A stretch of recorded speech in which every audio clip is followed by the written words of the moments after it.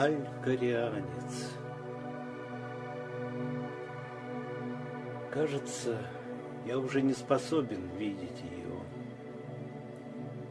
Безлунными звездными ночами я всегда смотрю туда, где, как два брата, держащих друг друга за руки, мерцают две звезды.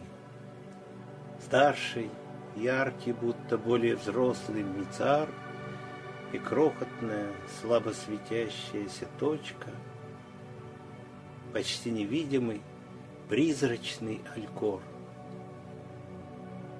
Где-то там кружится планета, где мы росли в детстве. Планета, откуда прилетал алькарианец. Алькарианец, безымянный, одинокий труженик сада, понимающий язык всех младенцев. Смотрю на звезды и думаю, что разум достается нам нелегко, а мы даже не представляем, насколько, что он действительно тянется к свету и боится тьмы, что детство живет только один день, а потом твердеет, как гипс, и далее мы живем подобно камням, в холоде и черствости. И что отношения между людьми, как и сами люди, значительно улучшаются, если суметь сделать тот камень податливым, как глина. Под силу ли это человеку? Под силу ли хотя бы нащупать такой камень в своей душе? Смотрю на звезды и вспоминаю разговоры с алькарианцем. Начну свой рассказ с самой первой встречи с ним. Я пишу все так, как я видел глазами своего угасающего детства.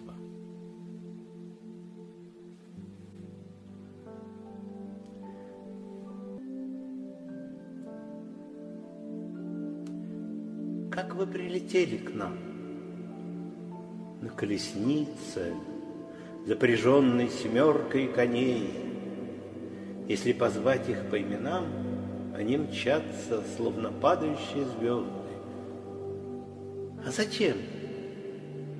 Значит, кому-то нужна моя помощь. Бах! Захлопнулась дверь в нашу комнату. Это родители снова затеяли ссору. И мама, прежде чем ругаться с папой, как всегда, закрыла дверь отгородить детей от стресса. Вот как они называют это. Наверное, думают, что мы ничего не услышим. Но мы слышали и слушали. Я и мой младший брат Андрейка. В такие моменты он ложился рядом со мной и начинал очень шумно сопеть. Ему было пять лет, но он все еще не мог отчетливо говорить получались какие-то непонятные звуки. Лю-лю-лю или ля-лю-лю. Мама водила его к логопеду. То ли лилелия, то ли алелия, что-то такое. Ну, болезнь такая, но излечимая. Вот и сейчас. Я лепюлим, лимниселим, послышался его шепот. Это он спросил, почему ругаются родители. Если бы я знал. Поругаются немножко, а потом помирятся. А ты давай спи. Успокоил я его. В этот момент громко хлопнула уже входная дверь. И какая-то игрушка упала на пол. Это папа ушел из дома. Наверное, придет только завтра. А мама будет долго сидеть на кухне и плакать. Я знал, Успокаивать ее сейчас бесполезно. А потому, подтянув одеяло и закрыв глаза, попытался заснуть. Как оказалось, Андрейка этого и ждал. Прождав немного и убедившись в моем сне, он легонько соскользнул с кровати и прокрался на балкон. Но я не спал.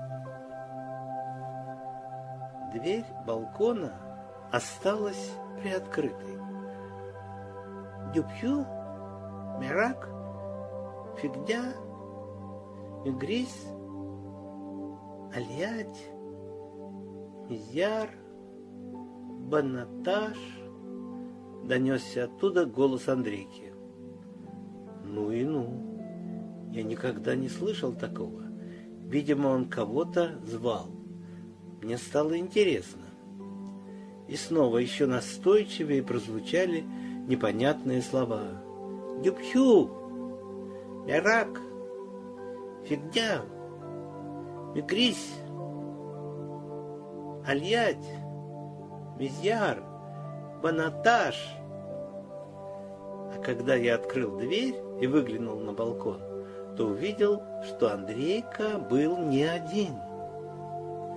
Рядом с ним высилась мужская фигура.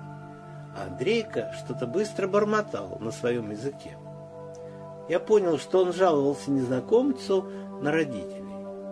Удивительно, но этот босой незнакомец, кутающийся в плащ, понимал речь брата и свободно общался с ним. Именно тогда я и познакомился с алькарианцем. Мы долго беседовали с ним на балконе, а потом он, сославшись на важные дела, попрощался. И вам пора ложиться. Скоро они придут. Они действительно вскоре пришли. Едва мы легли в постель, как услышали, что входная дверь открылась, и послышались глухие голоса. Мы притворились спящими тогда, когда в комнату тихо вошли родители и встали над нами. Мне кажется, они стояли в обнимку. Я подумал, будь я на месте родителей, мне было бы стыдно. Какие же вы противные, когда ссоритесь.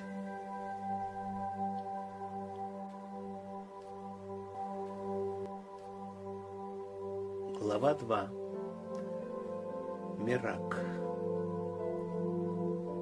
А на вашей планете все так же, как и на Земле? Почти. Моя планета – безжизненная пустыня. И там два солнца. Они по очереди освещают планету, чтобы не было ночей. Так надо, чтобы не было ночей. Почему? Мой сад боится тьмы. А что там растет? Цветы или деревья? Ни то, ни другое, хоть и цветет. Я называю это акль. У каждого человека есть свой акль в этом саду. Каждое утро в особом мешочке чудесным образом появляются семена. Их высаживают, присваивая каждому имя. Но всходят они не всегда. А это было в прошлую пятницу, за ужином. Сначала зазвонил телефон. Ответила мама. Да, да. И что? Неужели? Неужели? Ну как она сама-то? Ой, я... Мы... Сейчас мы приедем. Ага. Сейчас возьмем, конечно же. Сейчас заедем. Да, скажем им тоже, скажем. Потом родители уехали. Умчались, как угорелые, сказала бы мама. В общем, у маминой подруги родился сын, первенец. Ну, очень долгожданный ребенок, заключил папа перед отъездом. Дал все-таки Бог, дал. Столько лет ждали, прослезилась мама. Надо бы теперь достойное имя подобрать, оберегающее. А я вспомнил, что у нас есть два имени, и одно из них обязательно оберегающее, ведь его никто не знает. Глава 3 Вегда Наверное, тяжело ухаживать за садом в пустыне? Да, очень тяжело. Но я привык. Сначала это было наказание, а потом стало смыслом моего существования. А где же вы берете воду для полива? В пустыне появляются озерца, вот оттуда и беру. Но иногда случаются дожди в пустыне. В обычные дни дядя Тимур, сосед из второго подъезда, молчаливый, грустный и даже угрюмый на вид человек. Он живет один и работает часовым мастером. Его мастерская в центре города. Мы это все знаем. А вот разговоры тетушек и бабушек по дворе мы предпочитаем не знать. Ну, что он алкаш, пьет, семья от него ушла и прочую подобную белиберду взрослых. Потому что дядя Тома самый добрый человек на свете. 1 июня с утра он всегда устраивает на нашем дворе праздник. Приносит немеренное количество мороженого, сахарной ваты, разных соков и много других сластей – а потом зычно зовет всех нас. «А ну, налетай, детвора!» Шум стоит, ого-го, все мы очень довольны. Только, может, тетя Роза, наш дворник, поворчит. Мол, раскидали мусор везде, то да сё. Но взрослые ее успокаивают. Потерпите, тетя Роза, один день, потерпите. Вот это настоящий праздник. Вот это настоящий день защиты детей. И только дядя Тима любит детей по-настоящему, а все остальные терпят.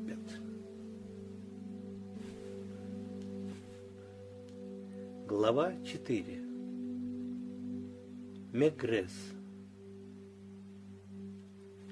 А сколько живут акли? По-разному. В среднем один алькарианский день. Это примерно 12 земных лет. А потом погибнут? Нет. Акль не гибнет, а высыхает и отвердевает, теряет сочность и гибкость, хотя в некоторых случаях может не высохнуть и будет цвести вечно. Каких же? Это было после третьего класса, на летних каникулах. И для нас произошло впервые. Мы сидели в отдельной комнате, за столом, и просто кушали. Нет, никто не плакал, но все молчали и прятали свои взгляды.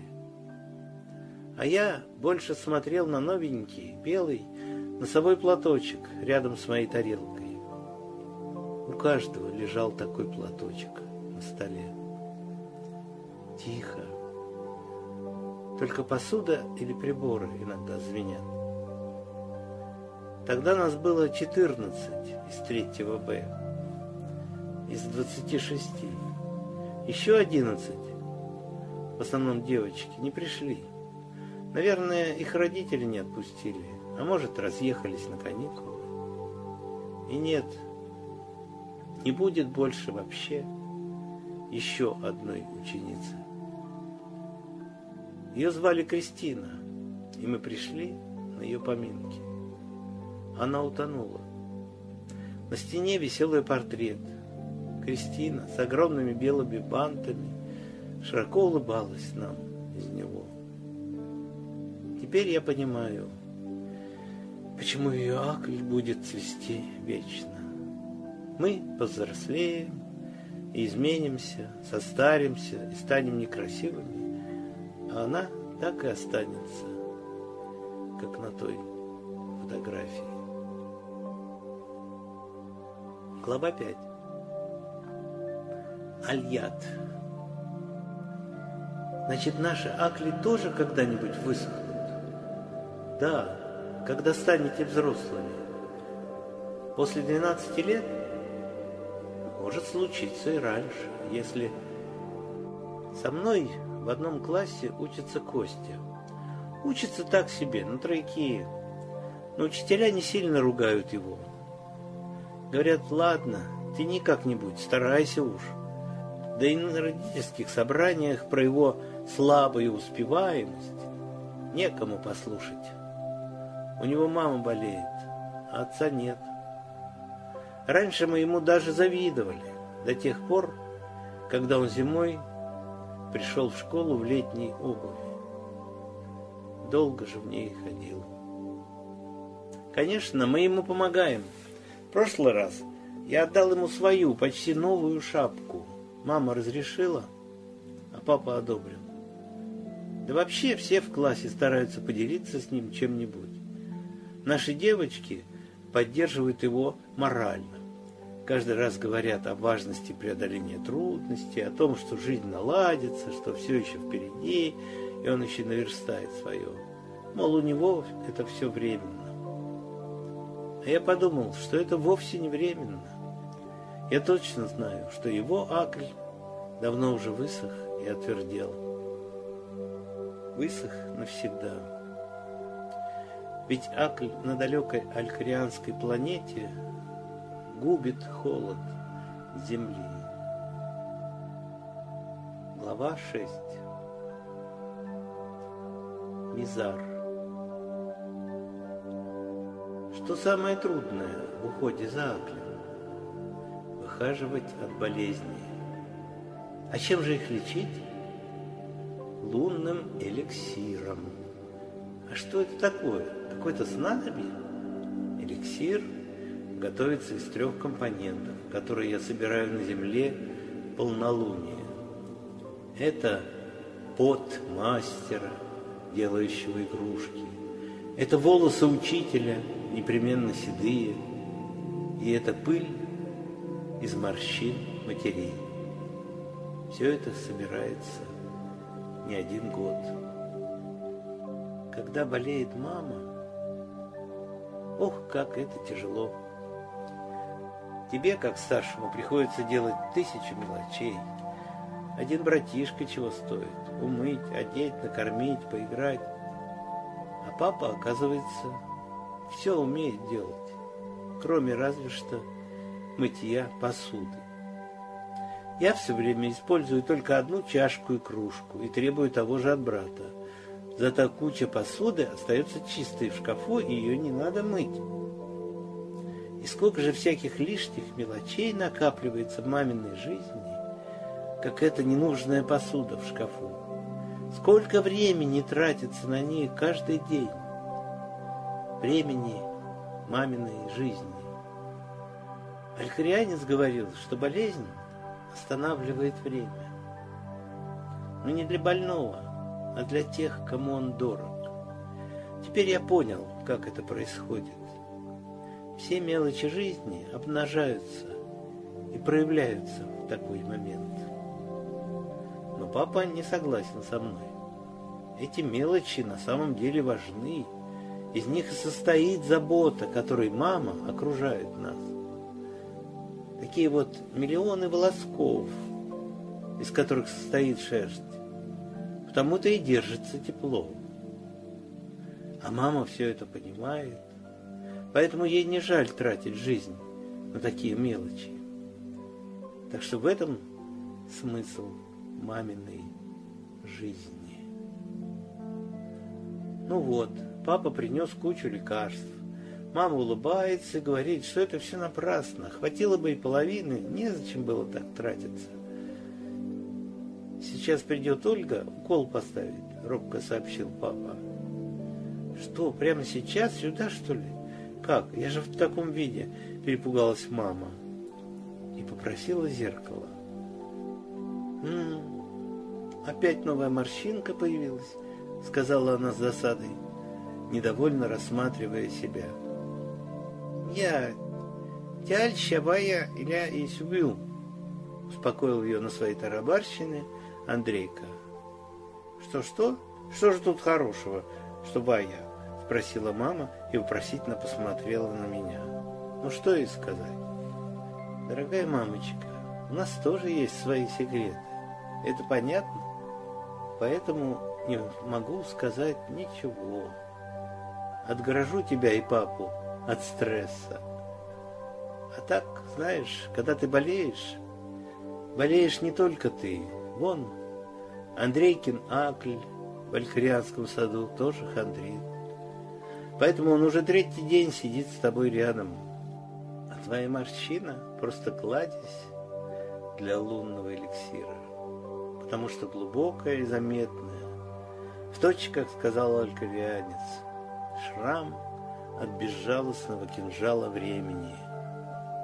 Потому что это твоя рана, полученная на бастионе матерей, потому-то и хандрит Акль Андрейки чувствует слабость того самого материнского бастиона.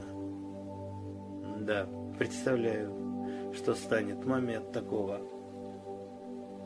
Но я, конечно, сказал другое. Лекарство, мам, это то, что трудно достать. И все. Пора в школу. Есть важное дело. Ну, когда теперь они уйдут? А мне все кипело. Кое-как отделался от ребят, чтобы шли домой без меня. Почти прогнал Толю очкарика. И уж точно прогнал Сеньку прыщика. Урок давно закончился, а эти сидят и воркуют без толку.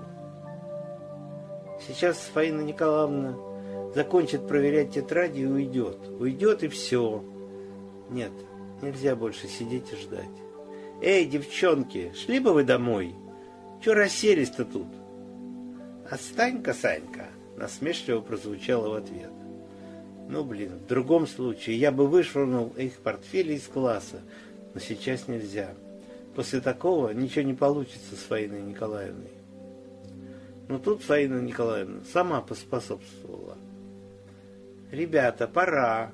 Выходим». Наконец-то эти встали и потащились к двери. Жду, жду. Их шаги уже были слышны в коридоре. Жду, жду. Наконец захлопнулась дверь в проходной. Ну все, пора. Надо начать. Фаина Николаевна, тебе чего, Бобров? Как строго. Сразу стало как-то не по себе. Подумал, может, зря я решил подойти к Фаине Николаевне. Но она самая старая из учителей и самая седая. Но надо продолжать.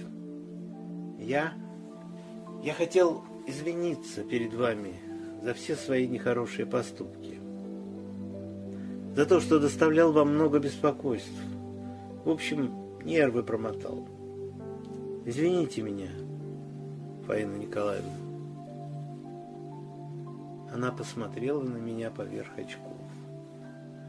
Ох, Саша, ты не сильно промотал мне нервы. Кажется, я впервые услышал свое имя из ее уст. Знаешь, сколько было таких учеников, как ты, за всю мою учительскую жизнь?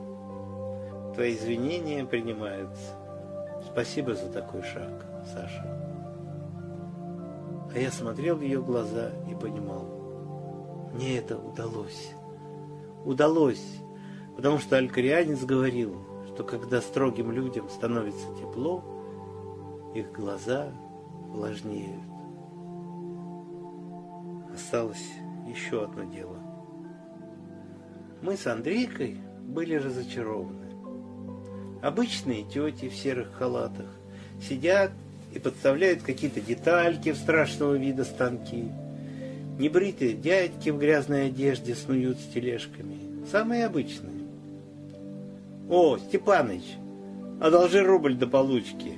Подошел к нам какой-то дяденька с распухшим лицом. «Иди-ка ты, Рома!» – процедил дед Степаныч, оглядываясь на нас.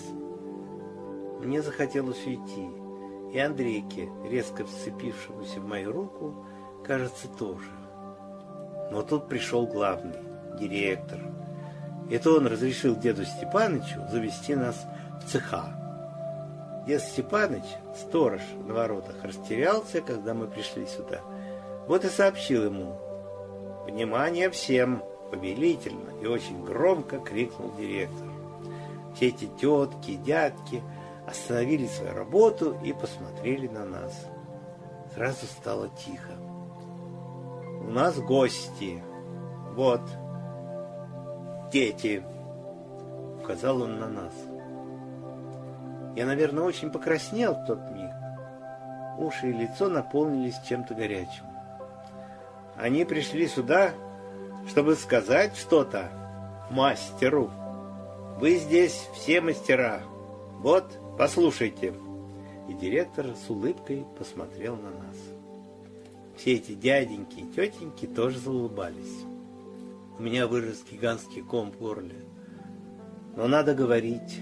Все ждали и внимательно слушали. Тут Андрейка стал дергать мою руку.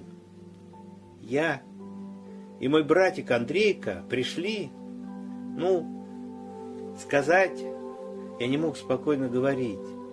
Мы пришли сказать, что ваш, ваш пот очень и очень нужен. В смысле, вас пот в труде нужен. Ну, пот от труда. Как же трудно говорить, когда только на тебя смотрят сто человек. Вот это мы хотели вам сказать. Сумел закончить я. Что тут началось? Все стали подходить к нам, шумно и горячо благодарить, а тот дядька, просивший рубль, крепко пожал наши руки. Дед Степаныч с какой-то гордостью заслонял от нас чересчур речивых теток. «Ну, ребята!» — подал тут голос директор. «Трудовой коллектив фабрики игрушек. Короче говоря, Андрейке подарили большой игрушечный самосвал. Нас напоили лимонадом, накормили бисквитом с изюмом и отвезли на грузовике прямо до дому. Все ребята во дворе видели, как мы важно вылезали из кабины, и дверь нам открыл сам шофер. В тот день я чувствовал себя как-то возвышенно, что ли. Словно избавился от какого-то груза, стал невесомым и теперь парил в небе. Это так здорово ощущать. Глава 7. Банат наш. А что же происходит с высохшими аклями? Они так и остаются в саду?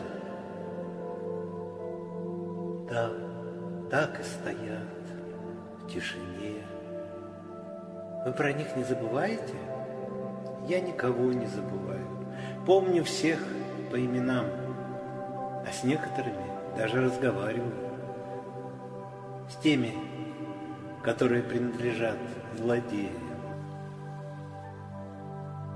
Да я даже за километр не подпущу этого уголовника к моим детям, кричал папа. Ну не горячись, пожалуйста. Он все-таки их родной дядя, успокаивала мама. Нет, это не родительская ссора. Просто мама и папа собрались сегодня в гости. На целый день, а может даже с ночевкой. А нас с Андрейкой оставить не с кем. Вот мама и предложила оставить с дядей Глебом. Это мамин брат.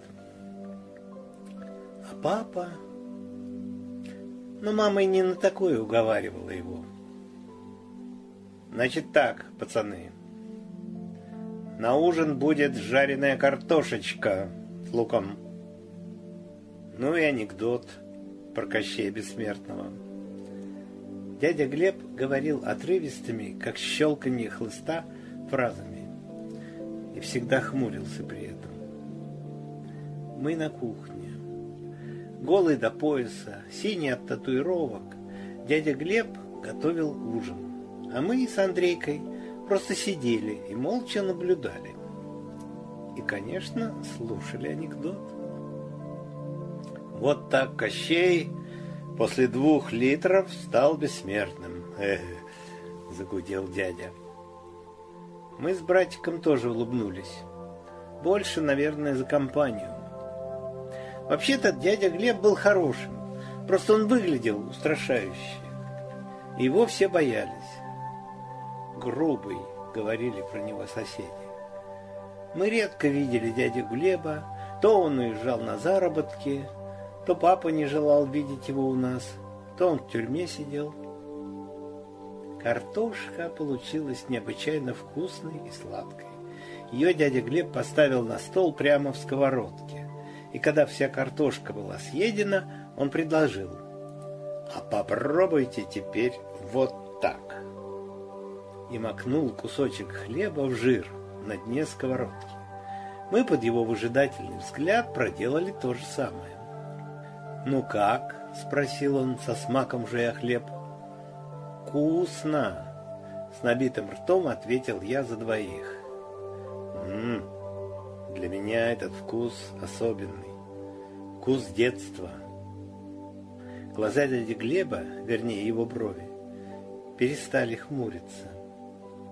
Наверное, самое счастливое время моей жизни.